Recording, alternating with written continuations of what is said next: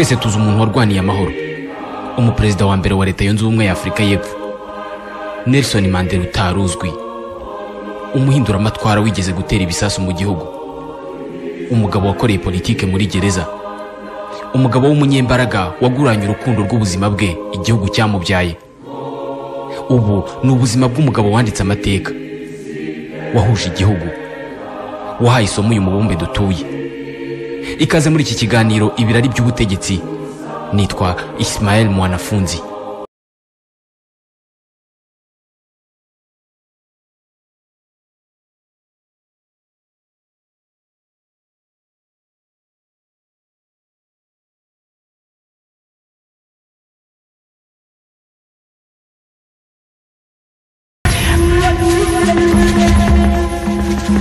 Ku itariki ya cumi n'imwe gashyantare mu mwaka w'igihumbi magana cyenda mirongo cyenda. Isi yose yari yerekeje amaso kuri gereza iri mu nkengero z'umujyi wa cape town muri afurika y'epfo.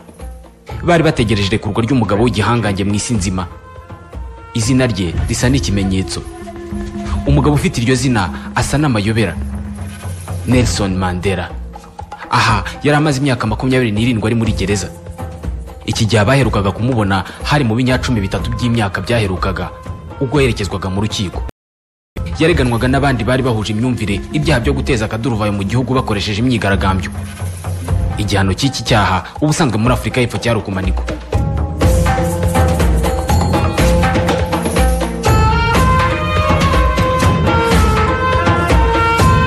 Mu kumba ka gereza mandela yari afungiwemo yandikaga imbwirwaruhame aza avuga ku munsi w'ikatirwa rye. Iyi mbwirwaruhame yaragiraga iti bwana mucamanza ninjye wa mbere ushinjwa.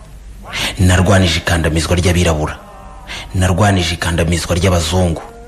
Nifuza umuryango wigenga kandi urangwa na demokarasi.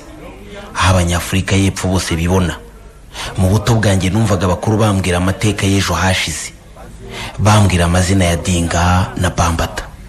Yari inyandiko ndende kandi yanditse mu buryo bwa politike. Yari ndende irimo amagambo akomeye yanditswe n'umuhungu w'umutware waje kuba umunyapolitike.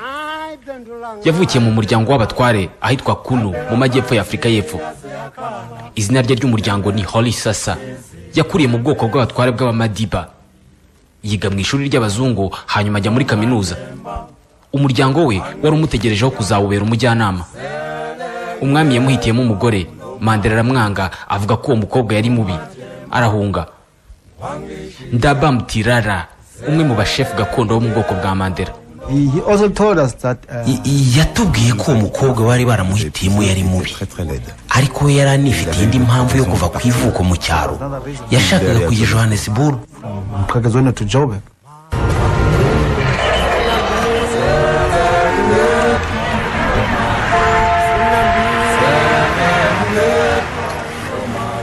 Mandela yageze johannesburg mu igihumbi magana cyenda mirongo ine na rimwe. Nta mitwaro afite usibye kositume yari afite n'akamarete gato. Yiyambariraga imyenda isa neza kandi imukwiriye neza. Yari afite imyitwarire y'abanyamujyi nyamara yari umunyacyaro. I johannesburg yahuriye n'uwitwa walter sisulu. Sisulu yari asanzwe ashaka abasore bakiri bato bo gushyira mu ishyaka yari afite ryitwaga anc african national congress. Ryarwanyaga akarengane abazungu bakoreraga abirabura muri iki gihugu. Sisulu yafashe mandela. Uyu ni nyir'ubwite walter sisulu. Mandela yambwiye ko yashakaga kwiga amategeko. Numva biranyuze kuko politiki n'amategeko biragendana yahise ashakira mandela ahantu ho gukorera mu rugaga rw'abunganizi mu mategeko. Ari nako yiga amategeko. Yari atuye mu gace ka gikene akiga akoresheje buji. Yari yihishe mu bandi birabura benshi batagiraga uburenganzira bwo gutora kandi bakorerwa ihohoterwa buri munsi. Ibi bikarushaho kumutera umujinya. Iki gihe yari ataramenya icyo walter sisulu yamukundiye nyamara yari yaramubonyemo ubukerebutsi akigera mu rugaga rw'abavoka yakoreragamo mandela bamuhaye amafaranga ngo ajye kugura ibikombe byo kunywesha icyayi. Yagombaga kugura ibikombe bitandukanye n'iby'abazungu kuko bo bagombaga kunywesha ibikombe by'ibyuma abazungu bakanywesha iby'ibirahure. Mandela akihagera yanze kunywesha ibikombe by'ibyuma atangira kujya anywesha ibyagenewe abazungu avuga ko abantu bose bareshya. Ngiki gikorwa cya mbere mandela yakoze abantu bagatangira kubona ko azikoraho walter sisuru wayoboraga anc icyo gihe. Yahise atangira kwigisha politike mandela. Sisuru yari amenyereye umujyi kandi yari asobanukiwe n'ibya politike. Mandela we yari umwana uje mu mujyi vuba. Nyamara sisuru we yahise atangira kubona ko mandela anashoboye ibintu bya politike kurusha n'ababikuriyemo. I thought Nelson had it. nasanze nelson yari anashoboye ibintu no kundusha ngewe ubwanjye. Nakuruwe cyane n'uburyo yashoboraga guhindura imibereho mu buryo bworoshye. Ikindi kandi uburyo yabanaga n'abandi ntako byasaga. Formidable. sisuru yavugaga icyongereza cyiza kurusha nelson nubwo nelson mandela ari we wari warize amashuri meza. Mandela yabonye diplome. Walter sisuru ni we wamuhaye ikoti ryo kwambara. Bari inshuti nziza cyane. Akibona diplome yagiye gusaba urwandiko rumuhesha uburenganzira bwo gukorera mu ishyirahamwe ry'abavoka. Nk'umukozi ariko babanza kurumwima bamubwira ko barumuha ari uko yemeye kwitandukanya na walter sisuru mandela yarabyemeye kugira ngo yibonere urwo rupapuro ariko cyari ikinyoma. Aha ni naho mandela yahise atangira kuba umunyapolitike ku mugaragaro. Yari afite ibitekerezo byinshi ku buryo rimwe na rimwe atanavugaga rumwe na sisuru cyane cyane ku ngingo yo kumenya niba abirabura bagomba kuzifatanya n'abahinde mu kurwanya igitugu cy'abazungu. Iki kibazo cy'abahinde cyari mu byateshaga umutwe mandela. Yashakaga gukora nk'intumwa y'abanyafurika rimwe yafashe umuhinde bafatanyaga kurwanya abazungu yusufu kacaria amuceka urushyi aranamuterura amujugunya hepfo y'umuhanda. Mandela yari umusore w'ibigango wanakinaga iteramakofe. Uko ibintu byakomezaga kugenda bikomera ku birebana n'imibereho y'abirabura muri afurika y'epfo byatumaga mandela akomeza gukaza ibikorwa byo gushaka guhindura amatwara. Abirabura bagombaga kuba bafite pasiporo kugira ngo bashobore gutembera imbere mu gihugu. Ibi ni byo bise apartheid. Ku maradiyo ugushyamirana hagati y'abazungu n'abirabura niyo yabaga ari inkuru iyoboye izindi. In Johannesburg, there was staged last weekend the first muri johannesburg habaye igikorwa cya mbere cy'imyigaragambyo ishobora guteza ubwigumuzi bw'abaturage. ibihumbi by'abantu b'ibara bitabiriye iyo myigaragambyo yahamagajwe n'ishyaka rya anc iyi myigaragambyo igamije guhamagarira abantu b'ibara kwangiza amategeko.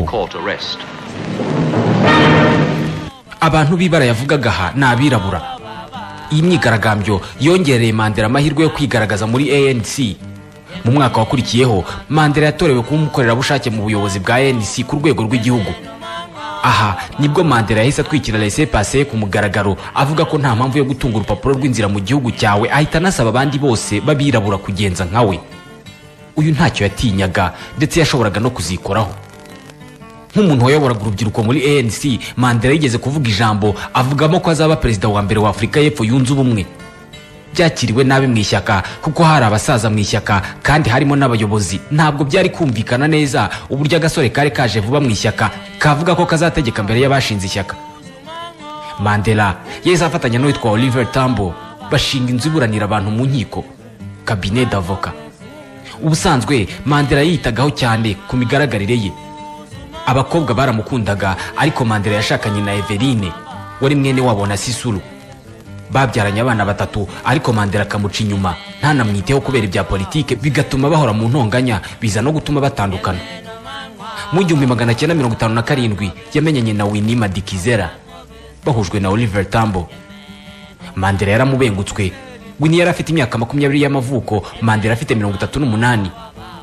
Mandela yatangiye kujya amwigisha gutwara imodoka kuko winnie atari abizi. Winnie yari mwiza cyane ku buryo abantu bavugaga ko umukobwa nk'uwo adakwiye umwihanduzi acumu w'umunyapolitike nka mandela. Ariko mandela we yaramukundaga cyane. Mu mafoto y'ubukwe bwabo nta bapolisi baje kubasagarira bagaragaramo. Ise wa mandela yamubwiye kuko gushakana kutazaba isoko y'ibyishimo kuko kuzengurutswe n'abanzi.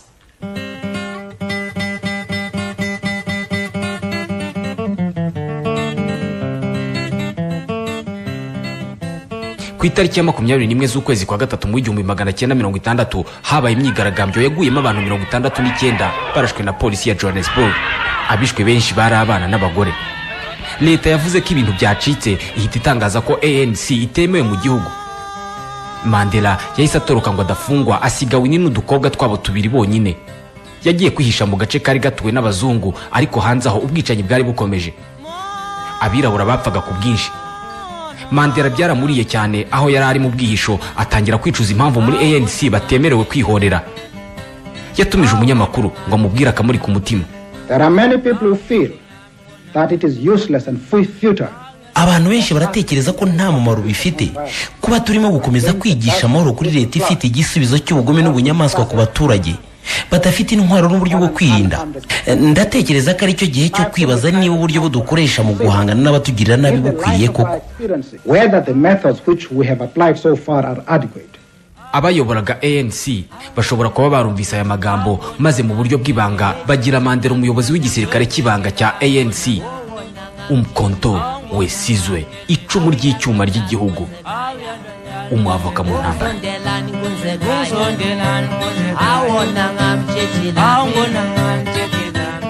nyuma yo gusoma ibitabo byinshi by'intambara mandela afatanije n'uwitwaga jackson umuvetera wo mu ntambara ya kabiri y'isi bakoze igerageza rya mbere rya bombe bari barakoze.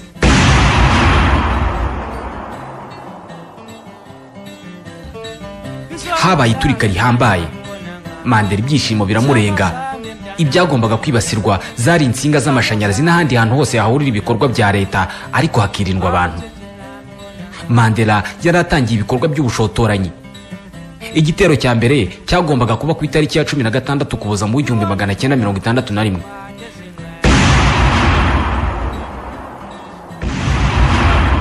Iki gihe haturikijwe hahuriraga umuriro w'amashanyarazi hagera ku icumi hose muri soweto. Amabombe yashyuhije umutwe leta y'abazungu.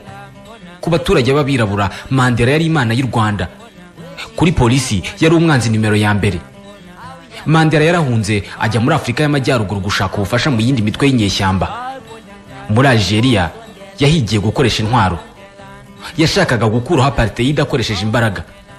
Mu bwongereza yahuriye n'umunywanyi wa kera oliver tambo wari umuyobozi wa anc mu buhunzi. Nyuma y'amezi atandatu mu mahanga mandela yagarutse muri afurika y'epfo asanga abandi basangirangendo bayobowe na walter sisuru barabonye ubwihisho ahitwa livonia mu majyaruguru ya johannesburg. Aha ni naho umuryango we wajyaga uza kumusura. Bidateye kabiri mandela yongera gushwana na bagenzi be. Yashakaga kujya yidegembya muri afurika aganira n'abarwanashyaka ba anc ikintu aba babonaga nk'ikosa rikomeye. Bamusabye kwiyoberanya kuko yari azwi mu gihugu hose. Ariko arabyanga. Rimwe yitwikira ijoro aragenda. Igipolisi cyamugendaga runono cyahise kimufata. Babura ibimenyetso by'uko yateje akaduruvayo ahubwo bamushinja gusohoka mu gihugu mu buryo butemewe no guhamagarira abantu kwigaragambya. Mu rukiko mandela yahinduye urubanza urubuga rwa politiki. Yari yambaye igishura cya kinyafurika mu bitugu. Yambaye agahu k'inyamaswa mu ijosi n'ibikomo ku maboko yombi. I johannesburg yinjiye mu rukiko abantu bose baraceceka. N'abapolisi mu rukiko bari bafite amatsiko yo kureba mandela waciye ibintu mu gihugu. Yari icyamamare. Umucamanza nawe yagaragaje ugutangara no kwitegereza mandela umwanya munini. Yasaga n'uwafatishije igihugu amashanyarazi. Bamukatiye imyaka itanu y'igifungo ariko walter sisuru n'abandi bari hanze babwiye abantu kudacika intege kuko madiba atazamara imyaka itanu muri gereza. Bavuze ko bazafata igihugu mu buryo bwa fidel castro muri cuba maze bagafungura mandela. Hori sasa. Ibi ntibyari gushoboka kuko sisuru na bagenzi be nabo barahigwaga ariko batabizi. Haciye iminsi mike polisi ikora isaka rusange ifata impapuro n'amakarita bishyira mandela na bagenzi be mu bikorwa bitegura intambara. Kuri iyi nshuro bose bagombaga kumanikwa. Mu rukiko mandela yavuze amagambo ya politiki aho kuvuga yo kwiregura. Yabwiye umucamanza ko aharanira kugira sosiyete ireshya kandi ya demokarasi. Yavuze ko icyo ari icyifuzo yiteguye no gupfira. Uwo mwunganiraga mu mategeko george bezos yamubwiye ko ayo magambo akomeye kandi ashobora gufatwa nko gushaka kwigira uwahowe imana. Yamubwiye ko kizira kikaziririza kubwira umucamanza ngo akore icyo ashaka. Umucamanza yamukatiye gufunga ubuzima bwe bwose na bagenzi be. Ah, sinanyuzwe n'ubwiregure bw'abashinjwa eh, ku byo bashakaga kwemeza urukiko. Ku bw'ibyo igihano ku bashinjwa bose ni igifungo cya burundu. Imihanda yahise yuzura abigaragambya.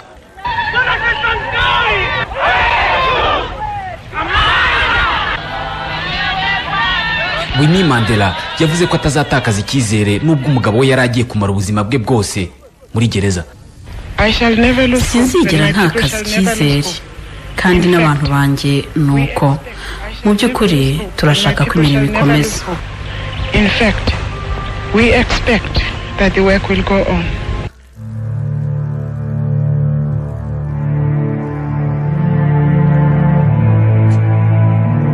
abafungwa bahise batwarwa mu rugendo rurerure. Baruhukirijwe ku kirwa kiri mu nkengero za cape town mu nyanja ya atlantique y'amajyepfo. Ku itariki ya cumi na gatatu kamena mu gihumbi magana cyenda mirongo itandatu na kane mu rukerera. Burijwe indege berekezwa robben island. Ikirwa gikonje bikomeye. Morale y'abagabo yari yashize.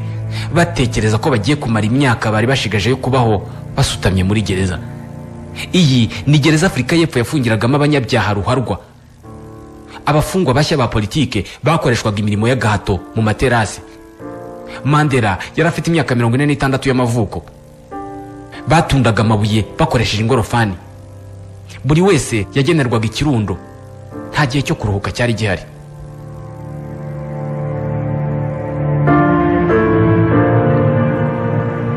Abafungwa babuzwaga kuvugana.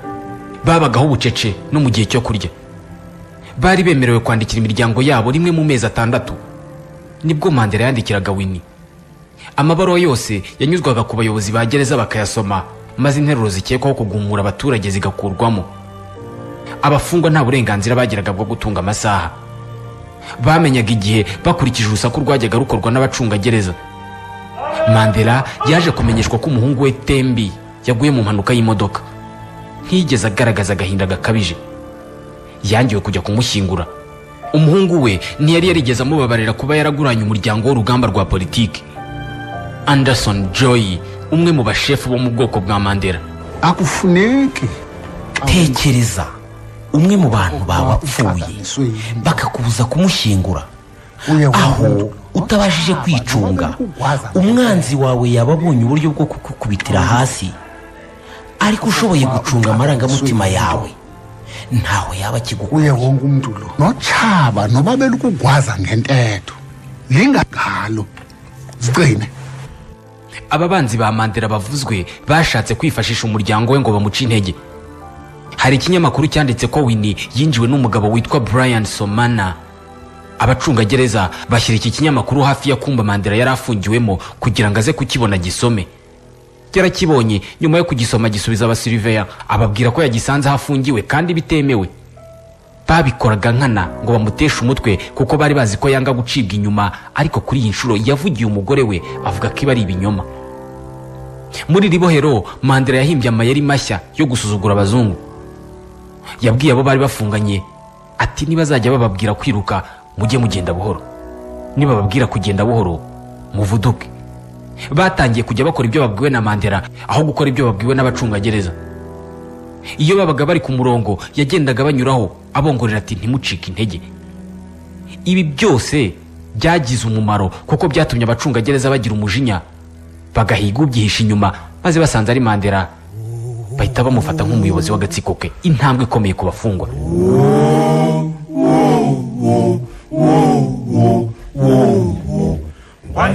Iturufu ya mandela yari ugusuzugura abacungagereza mu buryo bugaragara. Umunsi umwe umushoferi wabatwaraga yabajyanye aho bakoreraga imirimo y'agahato yiruka cyane kuko yari yarahawe itegeko ryo kujya yiruka ku buryo bicekagura. Mandela yanze kuripfana maze akomanga ku idirishya rya shoferi. Aramubwira ati misita twebwe ntabwo turi imifuka y'ibigori. Umushoferi ntacyo yavuze. Mandela yari afite agasuzuguro kenshi. Bari baramuhaye abarinzi umunani. Kugira ngo bamugabanyirize amarere.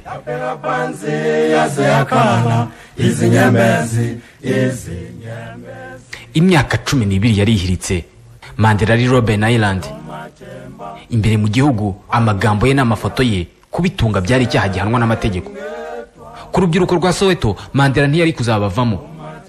Ni urubyiruko rwa soweto rwongeye kuzura kaboze. Ahatari kure y'inzu ya mandela muri soweto abasore n'inkumi mu mashuri yisumbuye bagiye mu mihanda bamagana ikoreshwa ry'ururimi rw'iki africans mu mashuri. Ngiyi intangiriro y'ubwicanyi bwo mu gihumbi magana cyenda mirongo irindwi na gatandatu.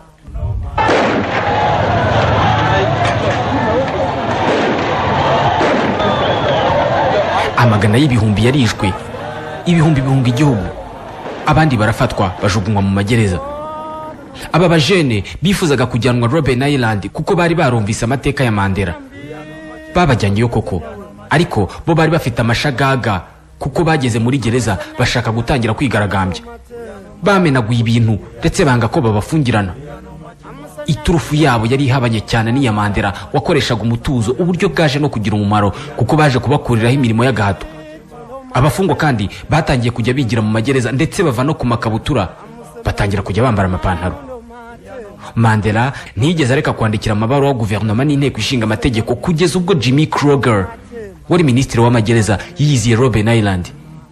Iki gihe abacungagereza babwiye abafungwa gutunganya aho barara ndetse bakambara neza ku buryo bagaragara neza. Ba bafungwa b'abana ibi babiteye utwatsi ahubwo biyanduza kurushaho. Ariko mandela yari isukuye bihagije ikintu cyaciye intege aba basore bato. Babonaga inzozi zabo zangirika babireba kuko bakekaga ko mandela yamaze gucika intege. Hanze imyigaragambyo yarakomezaga ariko mandela yasaga n'umaze kwibagirana. Mu gihumbi magana cyenda mirongo irindwi na karindwi hari abanyamakuru mpuzamahanga bajyanywe muri gereza ya robben island gusura ahafungiwe mandela. Uyu ni umuyobozi wa gereza atangaza iby'iri sura. Natumiye abanyamakuru b'imbere mu gihugu n'abo mu mahanga. Gusura gereza ya robben island. eh, kugira ngo birebere n'amaso yabo. uko abafungwa bafungiwe kubangamira umutekano w'igihugu bafashwe.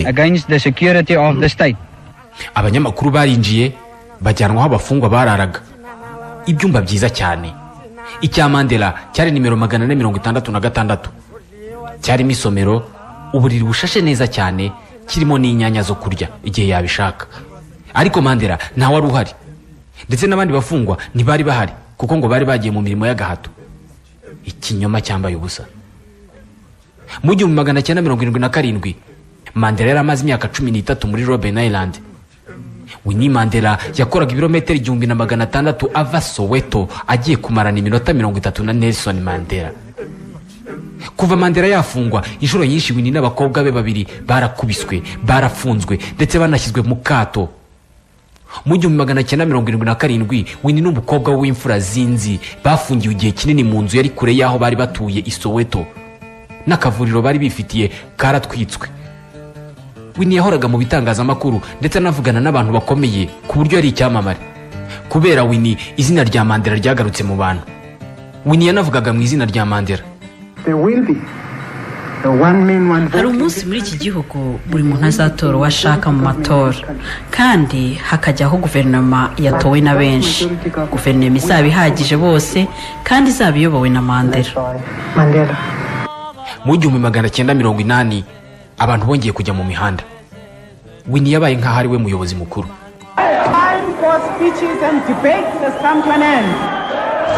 Igihe cy'imbwirwaruhame n'ibiganiro cyararangiye. Nta ntwaro dufite ariko dufite amabuye n'ibibiriti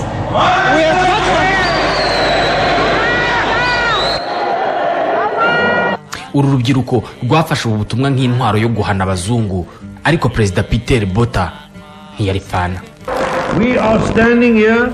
fana We are standing here firm as a nation. Ah, ntituzacika intege nk'igihugu cy'abazungu.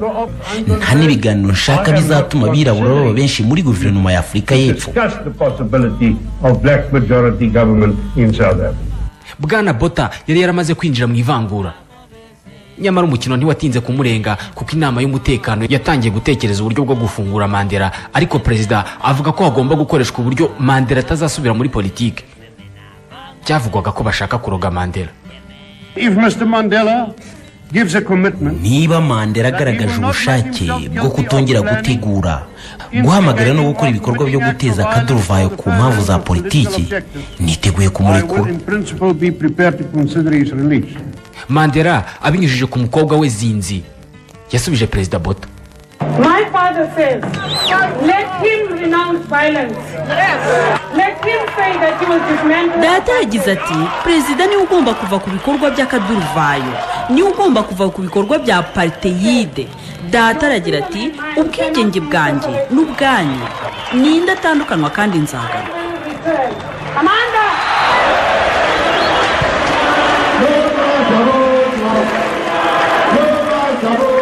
mandela yari amaze imyaka makumyabiri n'umwe muri gereza. Yari yarasize uyu wavugaga ijambo ari umwana muto cyane. Mu ntangiriro z'umwaka w'igihumbi magana cyenda mirongo inani mandela sisuru n'abandi bagenzi babo batatu bahinduriwe gereza bajya gufunga ukwabo. Mandela yabonanye kenshi n'abategetsi batandukanye barimo minisitiri w'ubutabera. Basaga n'abari mu mishyikirano mu buryo bw'ibanga. Mandela yashakaga ko mbere yo kugira icyo bavugana anc igomba kwemerwa nk'ishyaka riharanira icyiza. Apana abaterabwoba. Ibi byose byabaga abandi bafatanije urugamba na mandela batabizi. Bo bakekaga ko mandela na basisuru bagiye gufungwa bonyine kugira ngo leta ibashyiremo amatwara yayo. Mu gihumbi magana cyenda mirongo inani n'umunani mandela yarwaye igituntu. Leta ya afurika y'epfo ubwoba. Batekerezaga ko aramutse apfuye bamererwa nabi kuko byashoboraga gukekwa ko bamuhitanye. Mandela yahise ajyanwa mu nzu ye wenyine ahitwa victor verster. Yari inzu nziza ifite na pisine abandi bafungwa babibonye bashimishijwe no kubona mandela ameze neza kuko yanambaraga kositime y'ibipesu bitatu. Ariko bishyiramo ko leta yamaze kumwigarurira ndetse yanavuye mu barwanashyaka.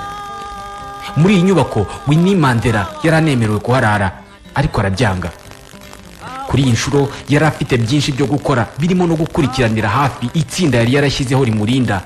Yari yarise mandela football club. Mandela yongeye guhagurutswa n'iyicwa ry'umwe mu barwanashyaka witwaga stompise peyi urupfu rwaramurakaje cyane. Yaravuze ati umwanzi ntabwo azitanga. Atariko icyo asigaranye ni ingabo ze zonyine. Aha mandela yagize umujinya mwinshi kuko bari baranamwimye uburenganzira bwo kuvugana na perezida bota ariko ntibyatinze uyu mubonano urategurwa. Mandela yashakaga gusaba perezida gufungura walter sisuru umunsi warageze barahura ku nshuro ya mbere mu buzima bwose. Mandela yaganiriye na perezida peter bota n'icyubahiro cyinshi. Yaba perezida bota yaba na mandela bose basaga n'abaruhutse. Hanyuma mandela azamura ikibazo walter sisuru perezida bota wagaragaraga nk'uwatangaye yavuze ko bazabireba. Nyuma y'amezi atatu gusa walter sisuru nabo bari bafunganye muri livonia bararekuwe. Byasaga no gutsindwa kwa leta kuko aba bantu bari barakatiwe igifungo cya burundu kandi nta mbabazi bari barigeze basaba. Perezida bota yararwaye aregura. Uwamusimbuye frederic de Klerk yaje ari imana y'u rwanda ku barwanashyaka ba anc. Isi yose yari itegereje ko uyu agira icyo akora. Hashize iminsi mike de Klerk yavuze icyari gitegerejwe. Leta yafashe icyemezo cyo kurekura bwana mandela. Nta kindi asabwe. Ndabivuga nkomeje gushyira mu bikorwa iki cyemezo. ntabwo kizatinda.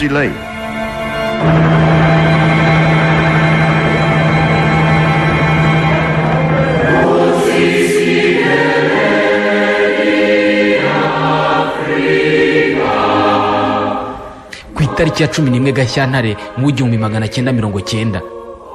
Isi yose.